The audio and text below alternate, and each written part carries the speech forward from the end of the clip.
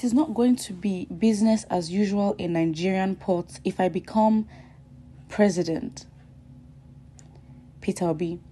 The Labour Party presidential candidate Peter Obi earlier today had an exclusive interview with Arise TV where he spoke on myriad issues of national importance. While speaking about his Egypt Morocco trip, Obi said he went to Morocco in order to understudy as he wondered why would Morocco with a population of about 36 million people have a better have better ports than Nigeria with a population of about 200 million people.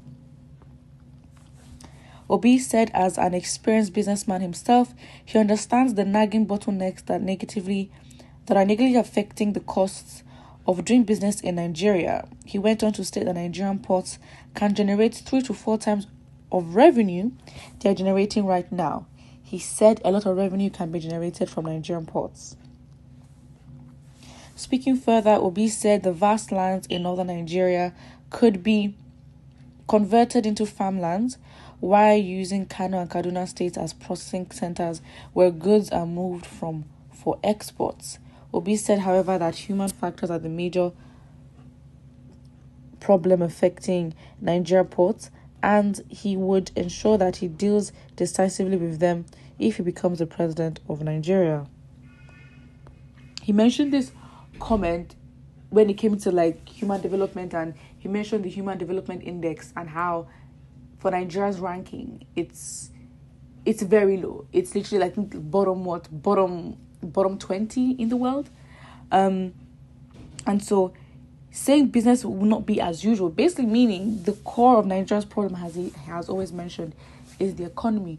So for Morocco, that would have thirty six million people, and Nigeria that'd be what ten times, almost ten times, um, larger in terms of population we cannot be so our producing capacity is just too little for it to for us to actually be where we want to be. And because he said when there is no jobs, when the labor market is dwindling, of course people are pushed into criminality and we also need a lot of investment to pay our debt and also invest, for example, in security, which is a big issue.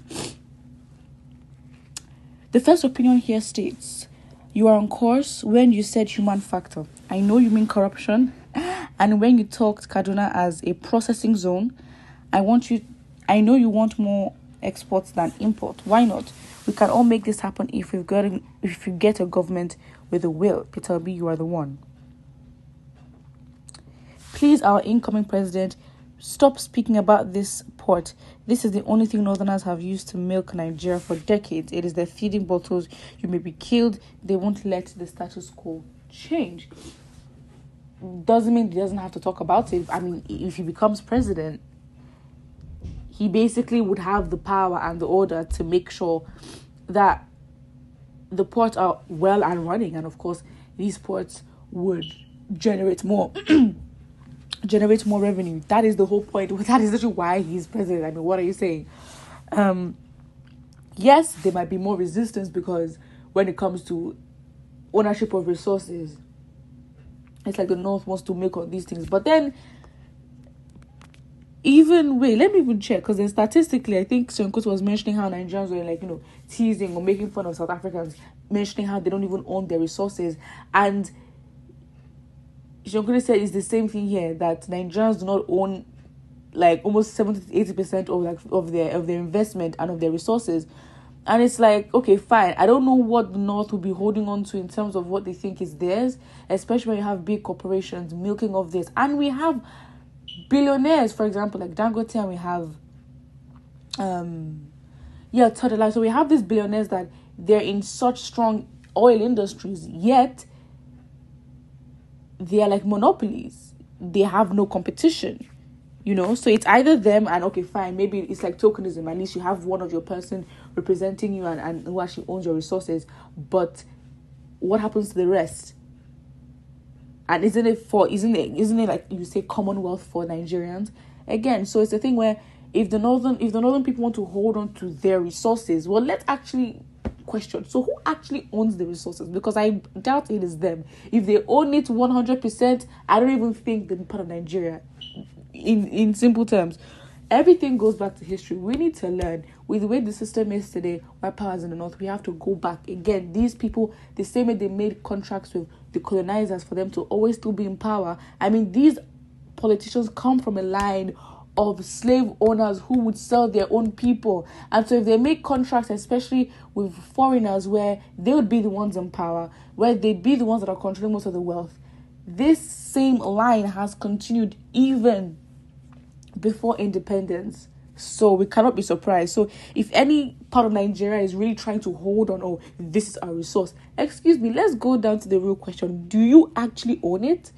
Because it all goes back to the question are we actually fully independent? So we all need to humble ourselves and try stop trying to claim what is not. I think we all need to really go and figure out the truth as to who owns Nigeria because that is a, the big question we'll be asking because it's not just the the big distraction would be to fight against ourselves rather than fight against those that are holding Nigeria to ransom and that would allow Nigeria, yeah, those forces that would allow Nigeria still go into debt, knowing that Nigeria has no proper plan of paying them back, basically enslaving us into future. Nah, that is that is crazy. So again, it's like we fight ourselves, and it's like you're fighting the wrong enemy, because that would distract us from actually knowing who our oppressors are because we think the oppressors are the Nigerian government. Yes, they do play a role, and that's the level that we're at and the level that we can see.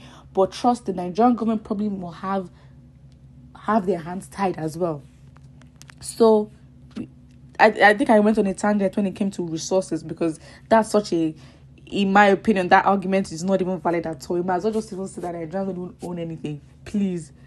um so yes i think it's very important i think before we even get to the deep deep stuff like that it's important that if you have a president that is in the short term trying to raise revenue, trying to raise Nigeria's GDP. This this is the, this is the thing. This is what would make Nigeria work. This it it this is this is the problem that we can fix in the short term because it would literally lead to so fixing so many solutions.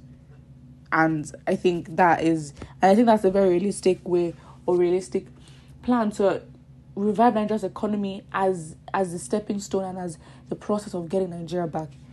And I think he's right about that. And so if he's going to talk about the ports, and I mean again in the interview he compares our population literally what 200 million people and our GDP is is so low in comparison to the countries, especially like in Europe. I think he compared us to Netherlands and their exports were about what 300 billion dollars and i think nigeria is like what on what like 21 billion dollars and that is a lot purely from oil which is not good at all. So yeah put what you think about it in the comment section below. Don't forget to like and subscribe